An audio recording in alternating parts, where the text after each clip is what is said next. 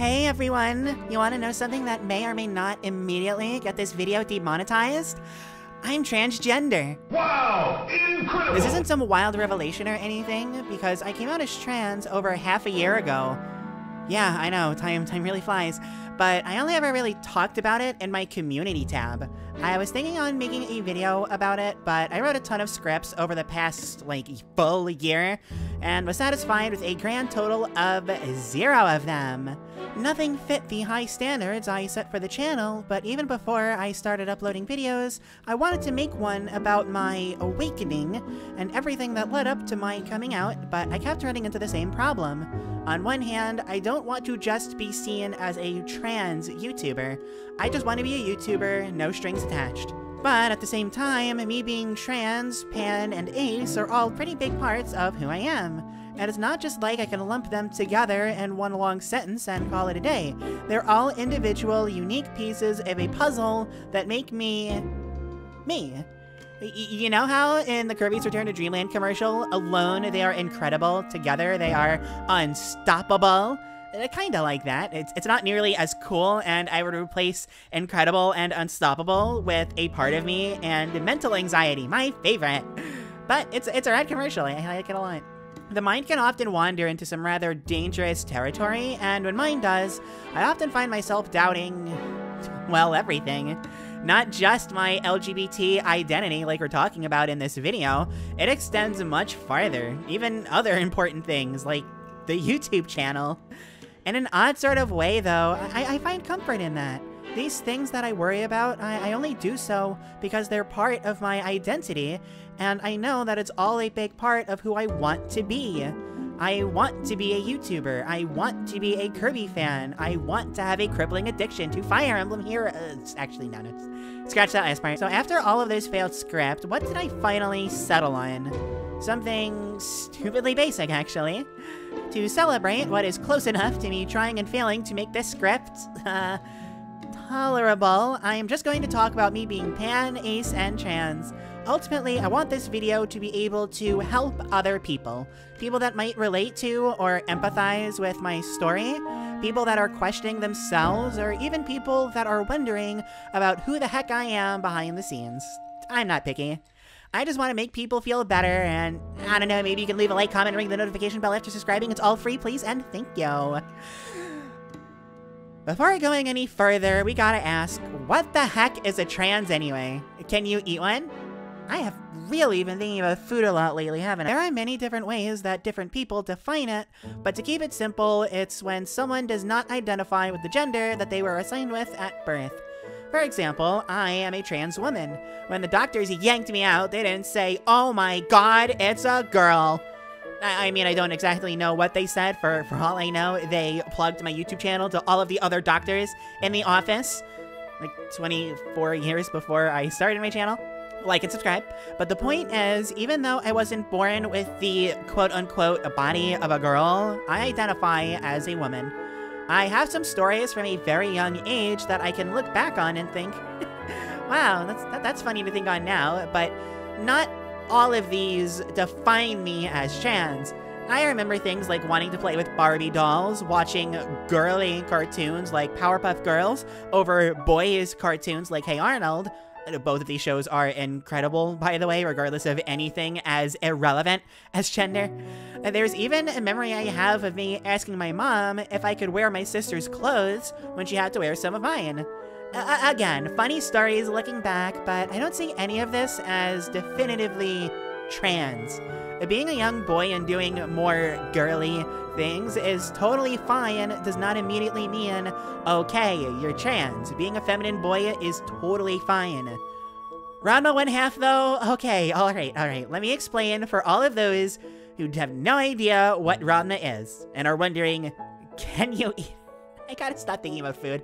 Alright, the important part is that because of some kind of curse or something, again, 15 years, if these two characters get cold water poured on them, they, uh, they change. The dad becomes a panda and Ranma becomes a girl. Yeah, you can see where this is going. I remember so many nights where I dreamed what it would be like if I suffered this curse and temporarily turned into a girl. I, I know kids think of stuff like this with or without Ranma involved, but I really looked forward to having these dreams. Being a girl, doing both masculine and feminine things, but being seen as a girl regardless, all that good stuff. It wasn't as simple as a kid being imaginative. I thought about being a girl and genuinely did not want to be a boy anymore. Unfortunately for me, I stopped watching Ranma right before I entered middle school, when everything stinks. Without getting into too much, middle school for me was really bad for a lot of reasons. But to keep everything related to what we're talking about, you had to be cis and straight, or else it was fine to be physically, verbally, and some other third thing bullied. Guys dressing as girls was basically asking to get beaten up, which really hurt, but it's not like girls dressing as guys was seen as that much better. Things were already bad enough, so I just told myself, just, just get rid of those thoughts, don't think about it. And you know what? Nobody found out. I still got physically and verbally bullied, just not for wanting to be a girl. Oopsie doopsie. Eventually, I got to a point where I decided there is no use in wanting this, it's impossible for me to be a girl. Stop thinking about it. You gotta remember, it wasn't even 2010 yet. Resources for stuff like this were so much harder to find compared to now. I didn't even know what the concept of being trans was, so instead of wanting it more, I just chose to forget. Sure enough, I went to high school, I stopped thinking about it, the bullying stopped. Granted, it was more because people in the school just didn't really care, but still. From there, I graduated, went to college, and for the first time in almost a decade, you'll never guess, I made new friends. Insane. I, I, I can't believe it either. What was pretty noteworthy about the friends that I made is that almost, if not all, of them were LGBT. I- am not going to name any names, of course, but some of the people I met were trans, and me learning this is a whole story in and of itself. Just know that you get pal Kirby fan ludicrously tense. But at the same time, something felt off. Obviously, I know now that it was the deep depths of my very brain and soul trying to tell me, hey, that is exactly, literally what you want. Stop forgetting, you big dumb dummy. Of course, it wasn't that easy to remember, and it wasn't until a random casual conversation months later that I remembered, oh my god, that's right. Wow. It all hit me like a ton of bricks. Extremely slowly, I started coming out to more and more people, and while some it didn't go that great, everyone was ultimately very accepting, which was very nice. Still, something didn't feel quite right. And I had no idea what it was. Everyone was accepting, they used she, her pronouns, either called me Kirby fan or Klaire, they called me a girl. To them, I was a girl.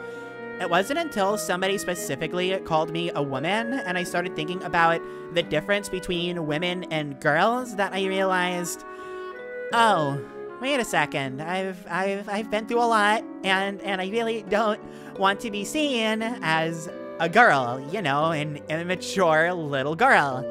I'm a woman, dang it.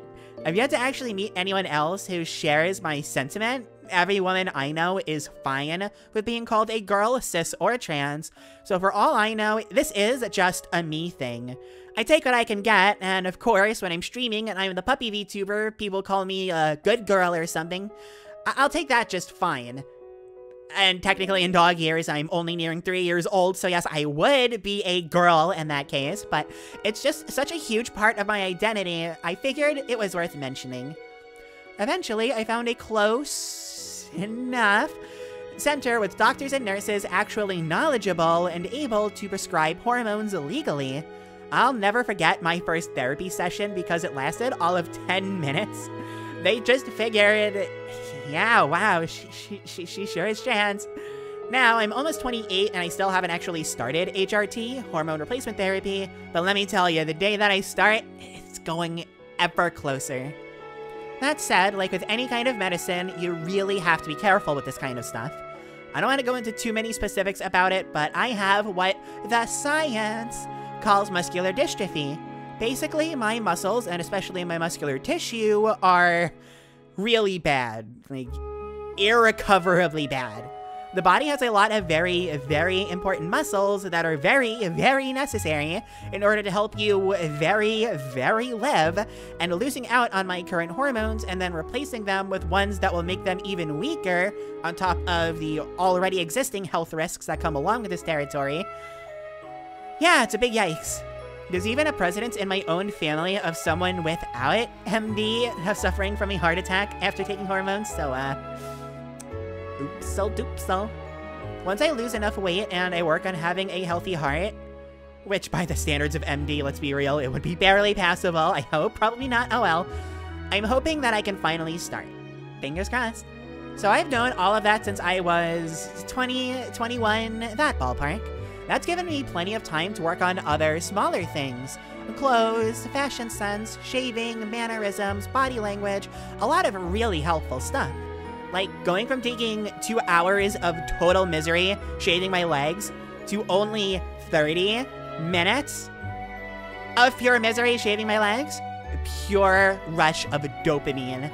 Unfortunately, I'm very much of a perfectionist specifically when it comes to my voice. Them's the struggles of being an aspiring voice acting artist, let me tell you. So I simply couldn't bring myself to do voice practice. If I'm being perfectly honest with all of you lovely, wonderful people, I still haven't actually started any kind of real vocal training. It's something I have to do since I've definitely hit a roadblock for sounding how I want to sound. It's just mentally for me really hard. No jokes here. It's just, it's really, really hard for me. Like and subscribe. But, speaking of, you know it certainly helped? Starting my YouTube channel. Yeah, in 2019, I started uploading videos with a far deeper, more masculine sounding voice. At that point in my life, there was no doubt in my mind already that yes, I am trans, but I wasn't even close enough to having the voice to sound appropriate. I was hoping that starting the channel would motivate me to practice, but say it with me, oopsily doopsily.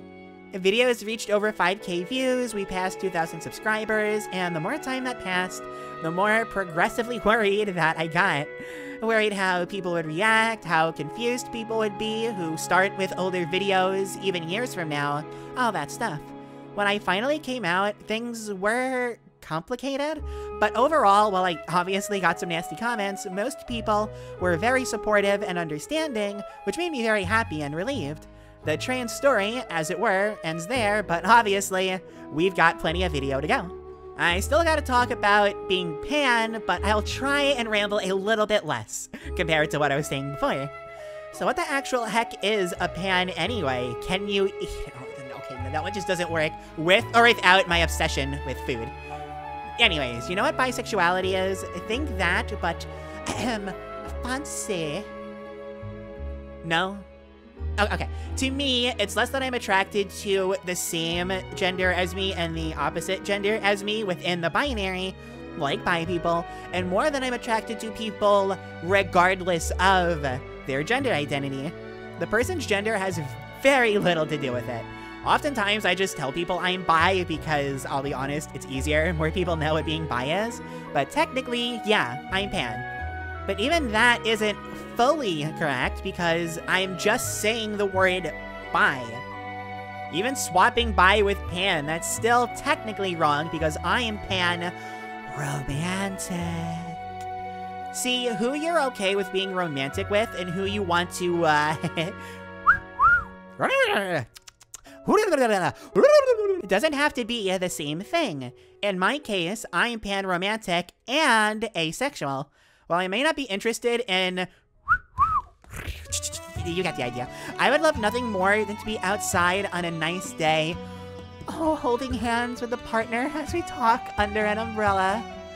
Or we talk under a parasol. Hey, now we're talking. For the longest time, I thought you had to be straight until I realized... Mm, not really, no you don't.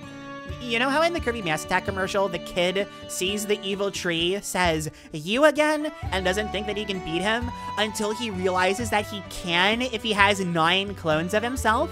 It's a fantastic commercial. And in my head, this is a perfect metaphor, so even if you're lost, it's good enough for me. Unfortunately, not only are we going to start talking sensibly again, but I also don't think I can recall a specific pan awakening, so to speak. As a kid, I just liked who I liked, but had no inclinations of romance. Then, by the time romance could be a thing I was developing into, that whole be straight mantra was beaten into my tiny little brain, and then it wasn't. I can't really give a specific person or a character or whatever because what I felt had never really changed, just how I acted. I remember in college one time, a friend had asked me if I was straight before I really knew that being straight wasn't mandatory. And my response was, sure, why not? I think that summarizes it all pretty well. The thing about me and my pan-romanticness is that it hasn't impacted my life nearly as much as being trans has. That helped me discover a lot about myself, but all learning about being pan did was confirm what I already knew about myself. But you know what? In a way, it was comforting since that matches pretty heckin' well with how I want to live my life. I have my preferences, of course. You all know Kirby Superstar Ultra, my favorite Kirby game, everything, but I love almost half the games in that franchise. I am totally fine with more than just one thing. Okay, but can we talk about my Kirby metaphors today? I am, I am actually going off today. Oh my god. There's just too much going on with life for me to value someone solely based off their gender. As cheesy as I know that this is going to sound, which is fine for me because I love cheese, parmesan, yummy, yummy in my puppy tummy, I really only care about what's on the inside.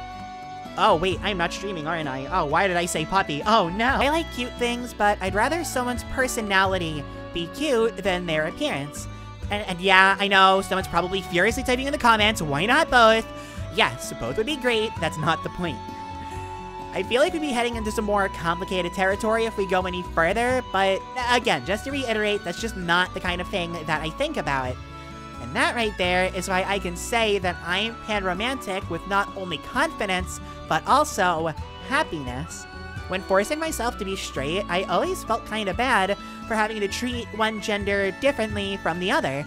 But if I feel the same way about all of them and I don't really treat any gender differently regardless, that's a big ol' yeehaw for me. I've hugged and cuddled with people who are all over the gender spectrum. It, it, just feels good to me. No asterisk saying, wait, actually, I feel bad because yabba blah blah blah. It, it's just, it's nice. Even being trans, yeah, sure, it has some issues, but on the reverse end, I don't feel bad about being who I want to be. I'm a woman, I feel good, I love others, I feel good. It's heartwarming to me, and, and sharing what I feel with others, well, it's what I do. I have a YouTube channel. But it can make other people feel that way too. And I really love that.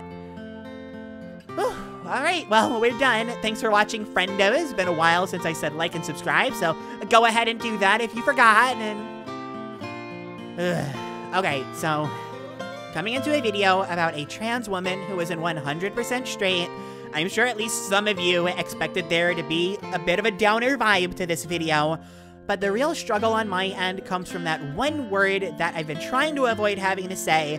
I failed, but saying that probably kills any leftover chances I have of being monetized. I don't like being asexual. And I can't even talk about my own experiences of being ace and what it's cost me in my life, because I am most certainly not talking about that subject in any video if we were nearing the whole uh, TMI thing earlier during the happy fun times, we've crossed that line twice already. You know how in the Kirby Air Ride commercial? Uh, never mind. That's honestly, I I'm too bummed to do another one of those. Despite the theming of this video, even the LGBT at large felt kinda lost to me before I had my trans reawakening when I just identified as ace.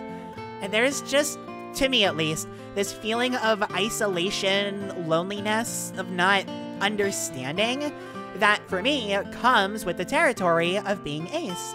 And these aren't good feelings, mind you. For example, solitude, a feeling I love, is vastly different from loneliness, a feeling I hate. But I'm definitely ace. I don't feel anything about it. Cue the cartoon noises particular topic, despite how centralized practically all of society worldwide likes to be hyperfixated on it. you get to hear some pretty wild rebuttals to coming out as Ace too. You get some cuckoo bananas reactions for being anything in the LGBT LVL, but based on my own personal experiences, the Ace questions are not so Ace. I, I like that one, sorry. You have your annoying questions like, hey, Ace, like the plan? Or the frustrating ones, like informing you that, of course, you're just a late bloomer. Wow, people really can't think about anything other than plants when they're thinking about Ace stuff, huh? But when people get invasive, like, have you ever tried it? Or you're just faking it to get with someone? Or who could possibly forget the endless, the literally timeless classic, I can fix you?